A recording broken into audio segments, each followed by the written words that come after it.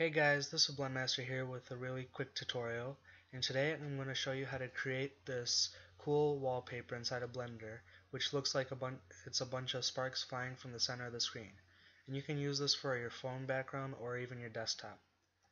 So let's get started. First thing we're going to do is switch over to Cycles Render and delete this cube and lamp and then I'm going to press Shift A to add a plane and scale it up by 5. Then I'll go to Top View and Orthographic View and press Ctrl Alt 0 on the numpad so we can snap our camera to view. Now I'll change the resolution from 1080 to 1920 because I want to use this for my phone background. Okay, now that we did that, I'm just going to zoom in a little bit like this.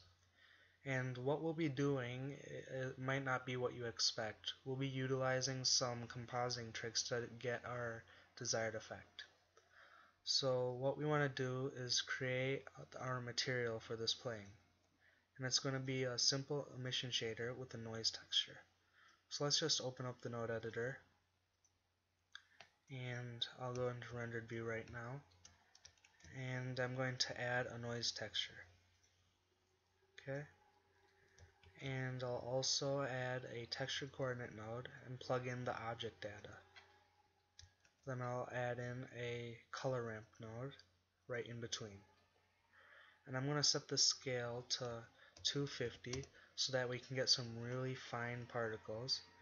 And then I'm just going to drag in this black slider so that we get really small white dots like that. And just to make the white dots a little bit stronger, I'll pull in this white uh, slider so that they're more visible like that. And then we'll just render out this image. Okay, so I think that's looking good for what we need. So we'll jump over to the compositor right now. Click Use Nodes and Backdrop. And Control Shift left click to bring up the viewer node. We'll just move it down like this. Okay, and a really cool tip for the compositor if you press V, you can shrink the background image, and Alt V will also increase it. So, that, so that's just something new I learned, and I'm sharing with you. Okay, so to get our desired effect, we'll be utilizing something from the filter panel called directional blur. And I'm going to set this zoom factor to 0.6 and as you can see, it sort of looks like it's popping out from the center right now, which is what we want.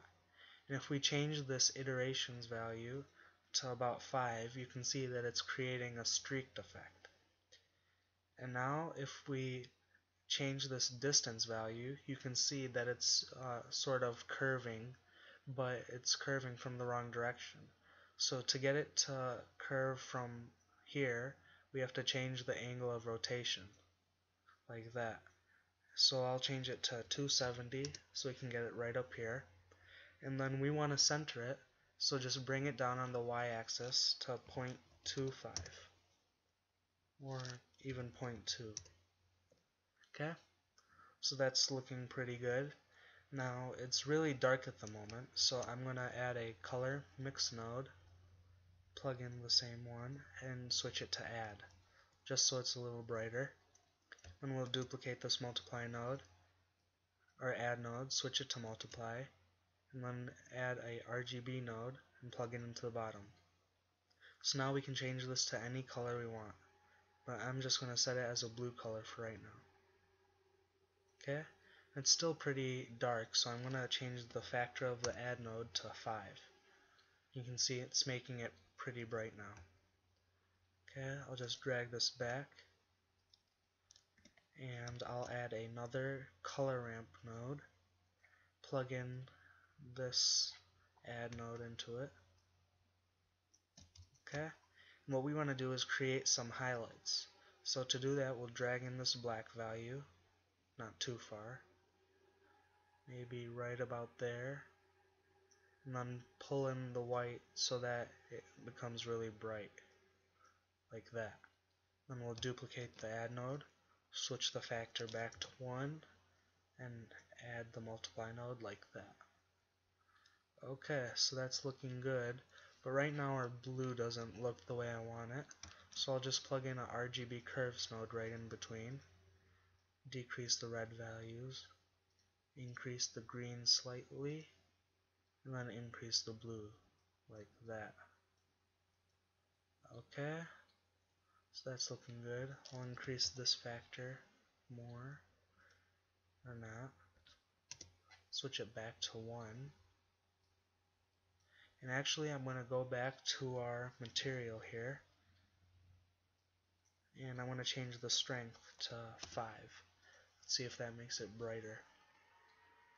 So it's a little brighter. Let's go see if that changed anything. It looks like it did. So I think that's looking pretty good. Change this blue to that. Okay, highlights are looking good. Maybe they're a little too strong, so I'll pull in the black value like that and then I want this to be more of a light blue color so I'm gonna pull in the green a little bit more like that okay yeah and that's looking more like what I want. I might decrease the red a little more. And I'll duplicate this. And that looks a lot brighter. So I'll decrease the greens here. Decrease the blue a little bit. And yeah that's looking a lot better okay so now I'll just plug this into the composite node and if we zoom in we can see that it's uh, still separated a bit and it looks like a bunch of different cubes are just following a curve. So to change that, we can just change our iterations value from 5 to 10. Okay, and it takes some time to load, but as you can see, it now looks a lot smoother. So if we go back and render this out, you should see our final image soon. Okay. And that's pretty much it for this tutorial. I hope you enjoyed and learned something new. Please leave a comment, uh, show me what you made with this tutorial. If you have any suggestions for future tutorials, feel free to leave them in the comments as well. Thanks for watching.